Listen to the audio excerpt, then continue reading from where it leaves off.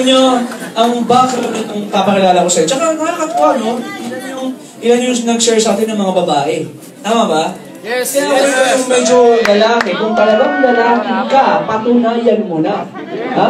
Yung mga kapatid na yung nag-success sa in global, tayo pa kaya mga lalaki. Tama ba yun? Yes! Kaya may tunay na lalaki! Hindi nagtasim yung. Yung kalahati lang. Sila ang gusto. Mga lalaki. Ah, katulad ko rin isang housewife. Ayan, may dalawang anak. Eh, tsaka ano, Fatima, vendor. Yes, yun yung Vegetable ve- vendor po itong papakilala ko sa inyo. Grabe yun. Mas, ma- alam nyo, nakakwentuhan ko siya. Ito lang mas- masasabi ko po, no? Doon sa halos parang na-touch talaga ako sa kinuwento niya kanina. Kasi sabi ko, ah, ano, ganito, ano ba yung background me before, before? Nung nagsisimula pala sila sa AIM Global, tumira sila sa, alam niyo yung kulungan ng baboy? Grabe ho. Sobrang ganun sila katindi noon. Ikaw ba tumira ka ng kulungan ng baboy? Kung nagawa nga ng taong yun, papakilala ko sa inyo, alam ko sigurado kayang-kaya niyo pong gawin. Tama ba yun? Kaya lang pag pinakilala ko sa inyo, pag tumayo dito, hindi mo mapagkakamalang vendor. Ang ganda eh. Totoo yun. Ang ganda. Kaya nga hindi ako naniniwala eh. Akala ko housewife Medyo lang. lalayo ka pag lalapit yun. Lalong gaganda yun eh. so, Kaya ko kasi tinago dahil sa produkto, di ba? Tutok to? Yes. Ah. Dahil sa produkto. Ano yung Kita-kita masculine naman. wash? Masculine wash. Siguro feminine wash yung natin. Favorite, favorite ko yun. Ano, Malamig- paano- malamig paano sa bibig. feminine?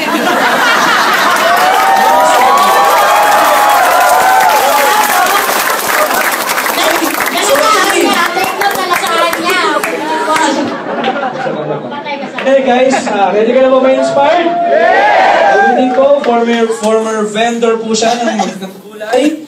Ah, nako, siya na bahala magkwento guys. Alam nyo, nagsima, ako masasabi ko, from rags to riches talaga itong papakilala ko sa inyo. Tinulungan, ginawa yung AIM Global. Tinulungan, talagang sineryoso yung AIM Global. Naka seven heads pa Ay, yan. oo. Ang alam ko yung magkasawa ngayon, naka, ano, miss kayo, siya na bahala magkwento. Isang Grabe, no? milyon! Dali lang, di pa ako pwede.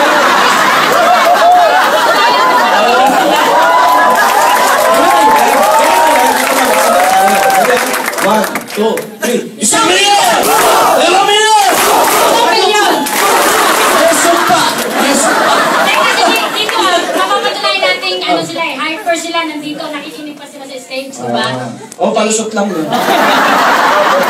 Eh, kasi pinapanood natin yun Ah, eh. sorry, sorry. First time to ah. Wala sa akin na!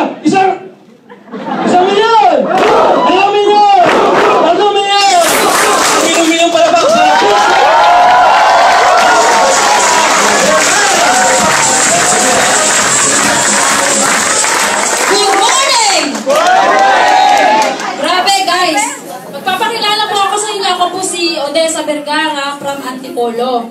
Guys, sino po yung mga binata dito? Good news po! May asawa na ako. guys, ba- guys, bago ako na-involve sa ganitong networking, pakilala po muna ako. Dati po akong vendor ng gulay. Um, ang hirap po kasi wala po akong sariling pwesto. Bit-bit ko yung bilao, timba.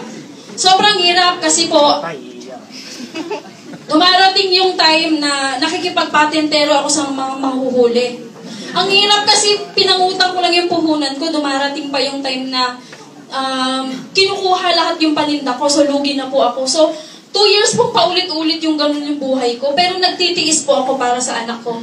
Guys, ikwento ko lang po sa inyo, Um, dati po kaming nakatira sa kulungan ng baboy.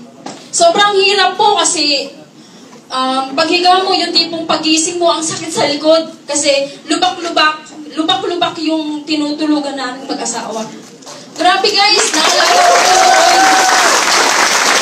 Naalala ko po noon, nung nagbubuntis po ako, grabe, nagsisibak po ako ng kahoy para lang makatulong ako sa asawa ko. Kasi ang iniisip ko, ibibili ko po ng uling or ng gas. Ibibili ko na lang po ng kalahating kilong bigas. Guys, grabe! Kami po yung pamilyang ang problema sa araw-araw yung pagkain. Naalala ko noon nung nagbubuntis ako, nagpapa-check up ako sa dona-donasyon lang. Um, 20 pesos na donasyon, kailangan alas 5 nakapila ka na. Kasi para, para kung gusto mong matapos ng maaga, 12, tapos ka na. Guys, grabe po. Ang baon ko po, tagli limang pisong tinapay at tubig. Nagre-request po ako sa asawa ko, sabi ko, baka pwede naman dalawahin kasi um, aabutin ako ng tanghali. Grabe guys, ang sagot sa akin ng asawa ko, ang gastos-gastos mo naman.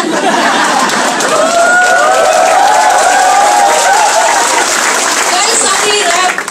Kasi naranasan ko po yung um, pakalakalahating kilong bigas. Pinagkakasya po namin, ilulugaw namin halos. Wala na po kaming masandok dun sa lugaw. Grabe. Ang hirap, ang hirap ng buhay na napagdaanan ko. Um, dumating pa yung punto na sinubo kami sa anak namin. Yung tipong nagmamakaawa ka sa doktor para tanggapin ka, pilit kang tinatanggihan kasi wala kang pera. Ang hirap. Guys, nagpipipti-pipti yung anak ko, nangingitim na yung kuko, pero pilit kami tunuturo kung saan sa ang hospital. Ang hirap maging mahirap, guys. Ang hirap. Lahat ng hirap sa buhay na pagdaanan ko na po. Lahat. Ginawa kong inspirasyon ng AIM Global. Sabi ko, kung nakaya ng mga naunang nagka-resulta, kaya rin namin. Tama?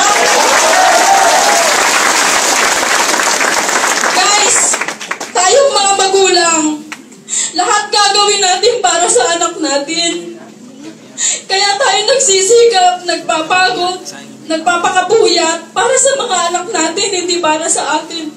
Guys, gusto kong maranasan ng anak ko ang buhay na hindi ko naranasan. Ano man yung hirap ng buhay na napagdaanan ko.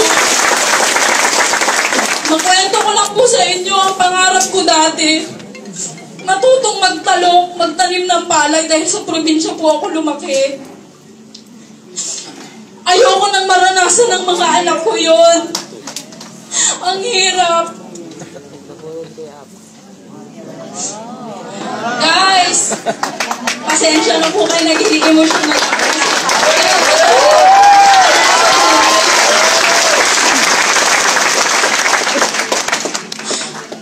Guys, good news po yung mga anak ko ngayon. Kung ano man yung gusto nila, kung ano man yung hilingin nila ngayon. Ibinibigay ko po sa kanila.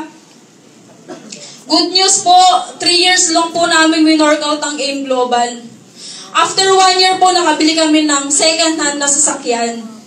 After 6 months rin po, nakapagpatayo kami ng bahay dahil ah, nung una nakikipisan lang po kami sa biyanan ko. Yan, batiin ko po yung yung biyanan ko, Erlinda Vergara, napaka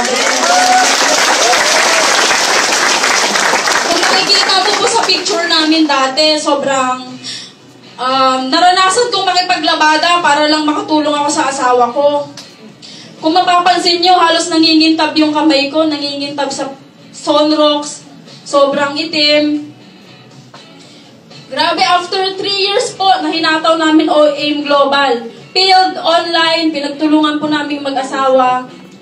Um, naka, after one and a half year po, nakabili kami ng brand new Montero 2014. After five months lang po, guys, grabe, nakapagpatayo po kami ng 4 million na bahay, house and lot po.